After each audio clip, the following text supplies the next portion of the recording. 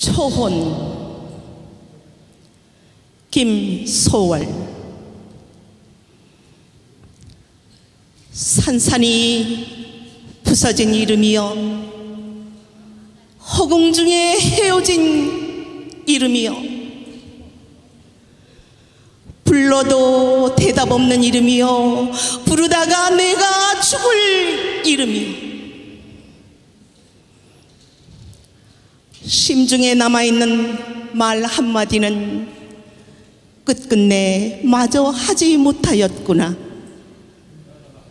사랑하던 그 사람이여, 사랑하던 그 사람이여, 붉은 해는 서산마루에 걸렸다. 사슴의 무리도 슬피 운다. 떨어져 나가 앉은 산 위에 서서 나는 그대의 이름을 부르노라. 소름에 겹도록 부르노라. 소름에 겹도록 부르노라. 부르는 그 소리는 비껴가지만 하늘과 땅 사이가 너무 멀구나.